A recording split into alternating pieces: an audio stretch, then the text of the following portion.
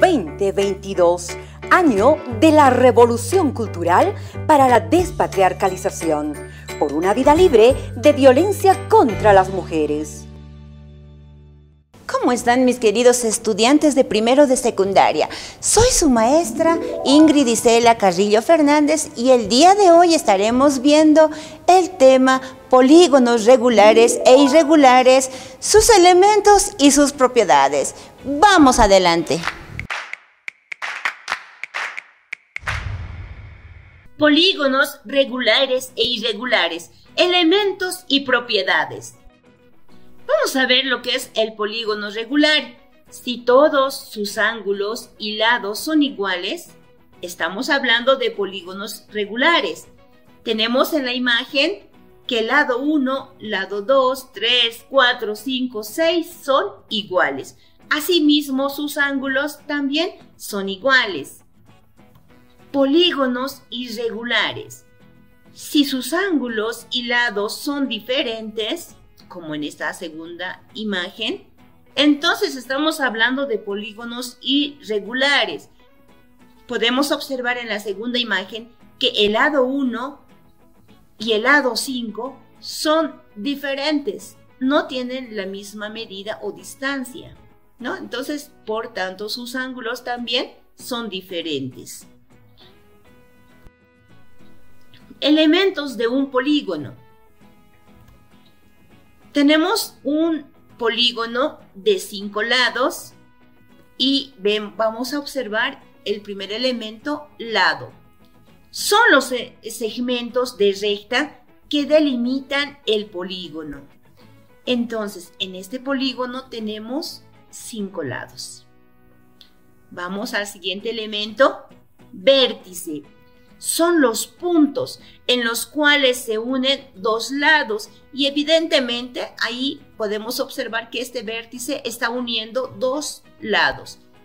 Y en este polígono tenemos cinco vértices. Seguimos con el siguiente elemento. Ángulos interiores. Son las regiones internas comprendidas entre dos lados consecutivos.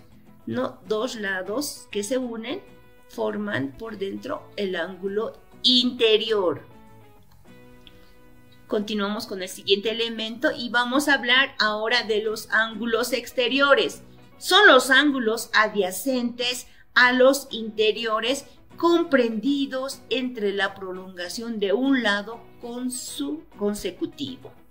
Y vamos a ver si realmente aquí tenemos, ah, ahí está, el ángulo exterior y realmente sí es adyacente a uno de los interiores, ¿no? Seguimos con otro elemento y vamos a hablar de los diagonales. Son los segmentos de recta que unen dos vértices no consecutivos. Quiere decir que están uniendo dos vértices, pero que no son vecinos o que no están lado a lado.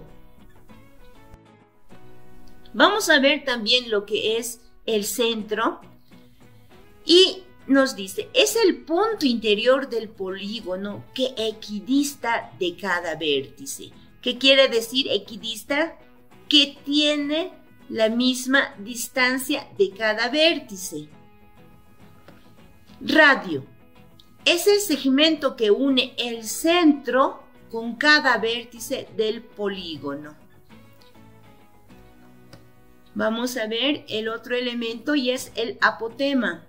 Es la distancia del centro del polígono al punto medio de un lado. Ahora sí, vamos a ver la clasificación de polígonos. Podemos clasificar de dos formas diferentes. Según el número de sus lados, según la amplitud de sus ángulos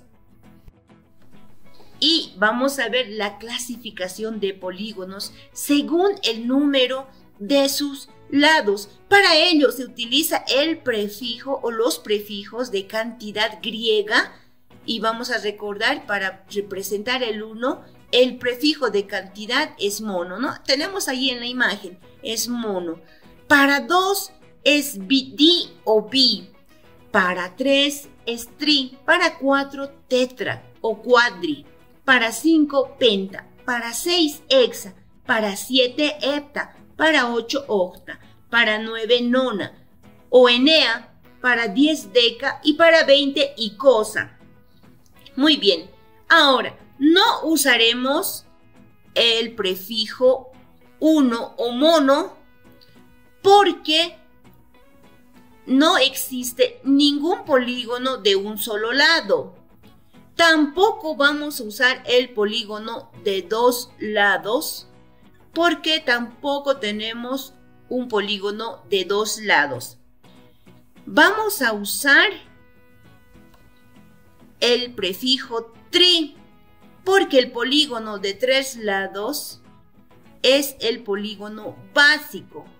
Fíjense, el polígono de tres lados, tenemos esta figura plana limitada por tres lados, tres ángulos y tres vértices. Se denomina triángulo.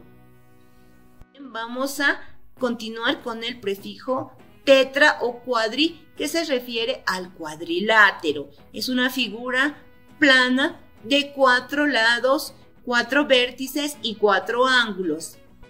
Tenemos también el penta, que se refiere al pentágono y es una figura de cinco lados, cinco ángulos y cinco vértices.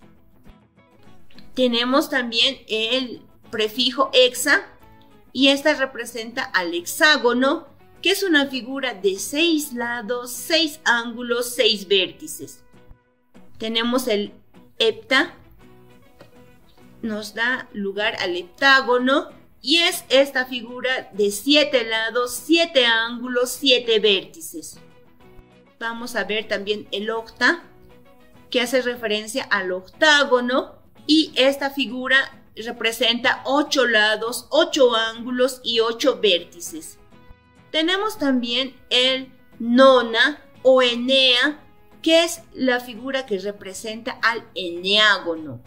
Es un polígono de nueve lados, nueve ángulos y nueve vértices.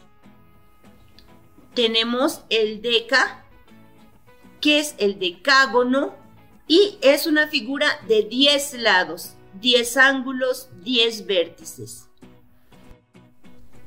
Tenemos también el prefijo icosa, Acá tenemos un polígono de 20 lados. Se denomina icoságono.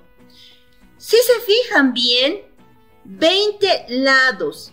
¿Qué pasaría si tenemos un polígono que tenga más de 20 lados? Entonces, la figura tendría que ser un círculo. Ahí tenemos el círculo. En este caso, tendríamos infinitos puntos que equidistan de un punto central. Pasamos a ver lo que es la clasificación de polígonos según la amplitud de sus ángulos. Se denomina polígonos convexos y polígonos cóncavos. Vamos a ver primeramente el polígono convexo. Se denomina polígonos convexos a aquellos en los que todos sus ángulos son menores que 180 grados. Y tenemos ahí la figura y efectivamente si observamos los ángulos todos son menores a 180 grados. Ahora vamos a ver el polígono cóncavo y decimos que los polígonos cóncavos son aquellos que al menos tiene un ángulo que mide más de 180 grados. Y efectivamente, ahí tenemos uno de sus ángulos de la segunda imagen que mide mm, o es mayor a 180 grados. Entonces, cuando clasificamos los polígonos según la amplitud de sus ángulos, los vamos a clasificar en polígonos convexos y polígonos cóncavos. Los convexos son sus ángulos menores a 180 grados, mientras que los cóncavos por lo menos tienen un ángulo que sea mayor a 180 grados. Propiedades de los polígonos. Las propiedades de un polígono están definidas según el número de diagonales trazadas desde un vértice según el número total de diagonales, según la suma de ángulos interiores, tenemos el número de diagonales trazadas desde un vértice. Vamos para ello a calcular la cantidad de diagonales a partir de un vértice. Solamente debemos conocer la cantidad de lados. Y vemos ahí un problema y nos dice, calcula el número de diagonales que se puedan trazar desde un solo vértice A en un heptágono. Es decir, que en esta figura o en este polígono que es un heptágono porque tiene siete lados, vamos a calcular el número de diagonales que se puedan trazar desde un solo punto y en este caso nos indica que vamos a trazar desde el punto A. Muy bien, vamos a ver los datos que necesitamos conocer. D, que va a ser el número de diagonales, no conocemos y es lo que tenemos que calcular. N, que es el número de lados, porque solo tenemos que conocer el número de lados. Y si es un heptágono, es 7 lados. Entonces, n es igual a 7. Ahora sí, Teniendo estos datos, vamos a ir a la fórmula. La fórmula es D igual a N menos 3, que sería número de diagonales igual a el número de lados menos 3. Vamos a reemplazar esta fórmula y vamos de esta manera. D es igual a 7, que es el número de lados, menos 3. Vamos a restar 7 menos 3. Y nuestro resultado sería D es igual a 4. Es decir, que el número de diagonales que se puede trazar desde el vértice A es igual a 4. 4 diagonales y vemos del A a la C, porque sabemos que no podemos trazar las diagonales del, de la de vértices vecinas, entonces vamos a trazar, no podemos trazar de A a B, entonces sí trazamos de A a C. 1, vamos a contar nuestro primer diagonal, 1. De la A a la D, 2. De la A a la E, 3. De la A a la F, 4.